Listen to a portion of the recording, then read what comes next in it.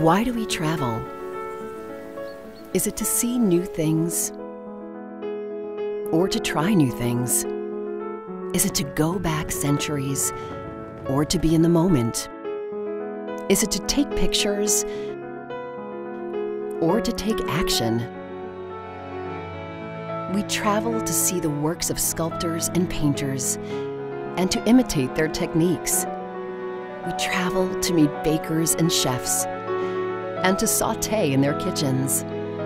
We travel to meet farmers, vintners, and brewers and to taste their divine secrets. We go out into the world to forge new paths and to discover old ones.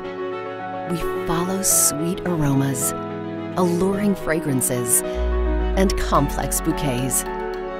We pedal and paddle, jog and climb, dabble and dance, and even march to the beat of our own drum. We journey to examine and explore, to listen and learn, and to engage and enjoy, with hands on and hands off.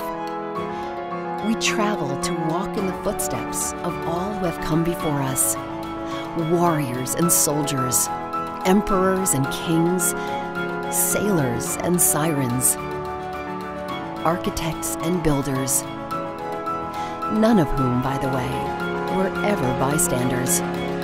So when we travel, why should we be? Engage, interact, indulge, only on active Discovery Cruises, exclusively from Avalon Waterways.